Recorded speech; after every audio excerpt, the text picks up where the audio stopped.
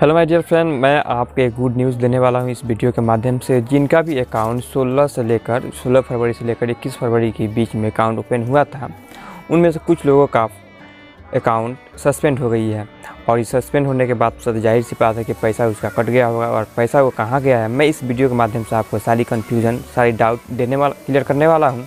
साथ ही साथ मैं आपको परलवाइन से लेकर गुड न्यूज़ भी शेयर करने वाला हूँ। साथ साथ में एक थोड़ी सी उदासी वाला न्यूज़ भी देने वाला हूँ। खैर, मैं मेन मुद्दा पाता हूँ जो आखिर सस्पेंड कैसे हुई थी, जिनका अकाउंट अगर लग गया था सोलह से इक्कीस फरवरी के बीच में तो उनका अकाउंट आखिर एक्सपायर कैसे हो गया या सस्पेंड कैसे हो गया, मैं इस पर थोड़ा सा रौनक डालना चाहूँगा।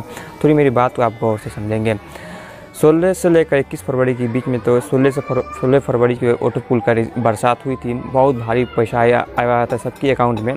उसी टाइम जिनका अकाउंट लग रहा था ओपन हो रहा था, उस समय में सभी का किसी कारणवश सस्पेंड हो गया और पैसा वापस आ जाएगा और जब आप अकाउंट को ओपन किए होंगे तो ज़ाहिर सी बात आपका पैसा उसमें लगा होगा, बाईस पचास का आपका कटा होगा।